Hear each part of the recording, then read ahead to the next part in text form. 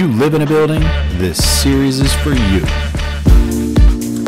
So, Margarita, my first question for you is Is that true? Can you verify that this program did, in fact, cover the majority of the cost of the installation? Correct. Hi there. Today's energy audit takeaways episode is a good one. It has a situation the homeowner has a heat pump that they need to replace. This is going to do a good job of demonstrating go through the home performance with Energy Star program before you replace your heat pump and you tighten your envelope. The rebates increase for the HVAC. So I'm in Upper Marlboro for my energy audit today, and it's going to be one that I want to try to see through from start to finish. The heat pump went out right before the audit. I'm going to show her a pathway to where she can tighten up her envelope and possibly get the heat pump replaced and maybe spend out of pocket what she would have spent had she not gone through the program. So in other words, she might have replaced the heat pump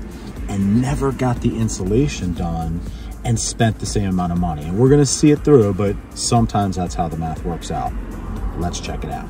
Well, my work on my audit from Friday with the heat pump that is not in working condition right now has extended over to Sunday. And I'm finishing up here, getting ready to put the numbers together. I want to go through them with you.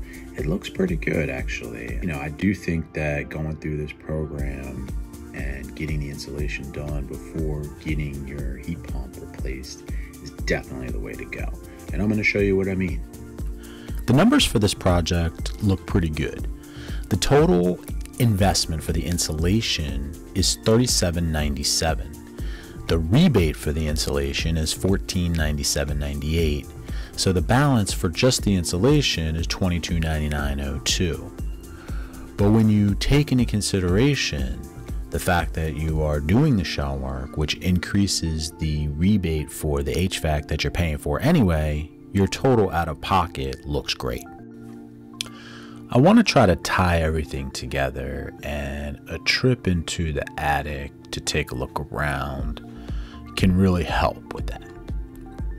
The first thing that we want to do is we want to seal the house. And when you take a look at some of the areas in the attic that are susceptible to air leakage, you can see with the discolored insulation all over the place that air has been basically running through those channels, through those pathways for years and years. So the question becomes, you know, why would you want to put a brand new, efficient unit into a house that is leaky and have it send air through a duct system that has a lot of deficiencies? And people are doing that day in and day out, you know, all the time. And that is why the power companies, Pepco and BGE in Maryland, that's why they will increase the incentives when you replace your HVAC once you've gone through the program and you've done the shell work because that is where the true energy savings lies sealing the house. So, Margarita, Correct. So the PEPCO rebate program was able to give me enough rebates for HVAC plus the rebate for the insulation that in total would cover all the insulation cost.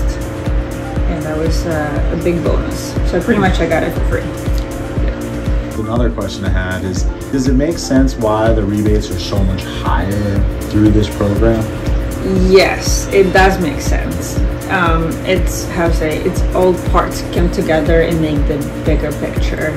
Thank you uh, very much for you know allowing me to interview you. I think this is really going to help you know a lot of people